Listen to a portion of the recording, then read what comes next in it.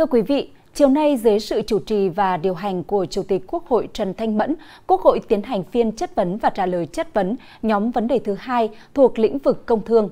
Phiên họp được truyền hình phát thanh trực tiếp để cử tri và nhân dân theo dõi. Kính thưa Bộ trưởng, trả lời chất vấn của đại biểu liên quan đến thương mại điện tử, Bộ trưởng Bộ Công Thương Nguyễn Hồng Diên cho biết, chúng ta đang phải đối mặt với ba thách thức. Đó là người tiêu dùng phải đối mặt với mất an toàn dữ liệu cá nhân, hàng giả, hàng kém chất lượng,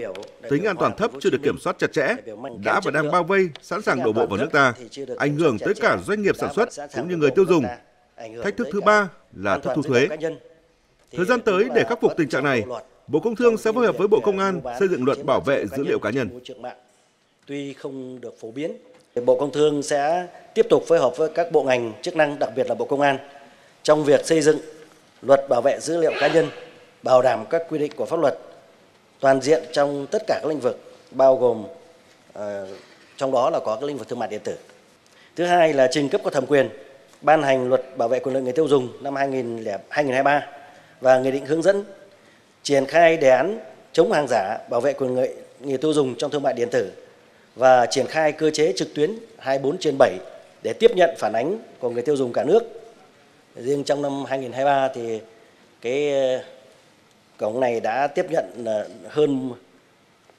gỡ bỏ hơn 20 hơn 18.000 sản phẩm và chặn hơn 5.000 cái gian hàng vi phạm uh, các cái quy định của pháp luật hiện hành. Tăng cường kiểm tra, kiểm soát chặt chẽ về nguồn gốc xuất xứ để tránh hàng giả, hàng kém chất lượng qua thương mại điện tử. Tham gia giải trình, đối với giải pháp chống thất thu thuế, Bộ trưởng Bộ Tài chính Hồ Đức Phước cho biết, thực hiện chỉ thị số 18 của Thủ tướng Chính phủ, Bộ Tài chính đã chỉ đạo quyết liệt trong thực hiện việc thu thuế của sàn thương mại điện tử. Bộ Tài chính cũng đã tăng cường tuyên truyền cũng như hướng dẫn người nộp thuế và thực hiện mở cổng thông tin điện tử của sàn thương mại điện tử xuyên biên giới. Cung cấp 140 Bộ Tài chính đã chủ trì phối hợp một cách quyết liệt với các cái bộ ngành như Bộ Công Thương, Bộ Thông tin Truyền thông, à, Ngân hàng Nhà nước Việt Nam và Bộ Công an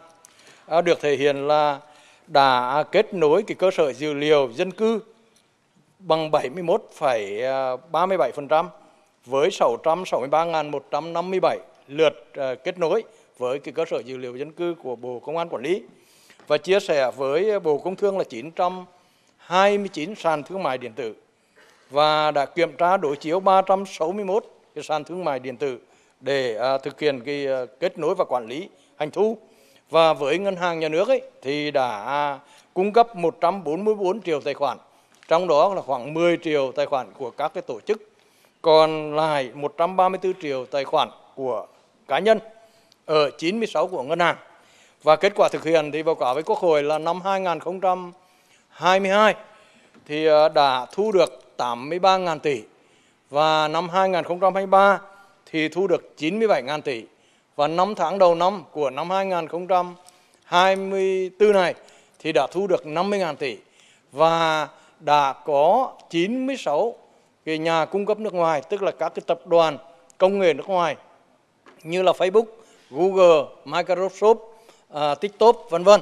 đã thực hiện đăng ký và nộp thuế trên cái cổng thông tin điện tử của Bộ Tài chính về sàn thương mại xuyên biên giới là hiện nay đã nộp được 15,6 ngàn tỷ đồng về thuế thương mại điện tử.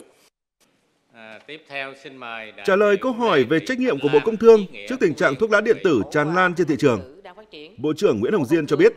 sản phẩm thuốc lá thế hệ mới, bao gồm cả thuốc lá điện tử và thuốc lá nung nóng, chưa được định nghĩa cụ thể trong luật hiện hành. Bộ Công Thương sẽ phối hợp với các bộ ngành liên quan, tham mưu cơ quan có thẩm quyền ban hành các chính sách quản lý chặt chẽ, có cơ chế quản lý rõ ràng đối với thuốc lá điện tử, khắc phục khoảng trống về pháp lý trong lĩnh vực này, tạo cơ sở để các ban ngành địa phương thực hiện đồng bộ, có căn cứ pháp luật, đồng thời tham mưu cho cấp ủy chính quyền địa phương dành nguồn lực thỏa đáng để thực hiện hiệu quả luật phòng chống tác hại của thuốc lá, trong đó có thuốc lá nói chung và thuốc lá điện tử nói riêng.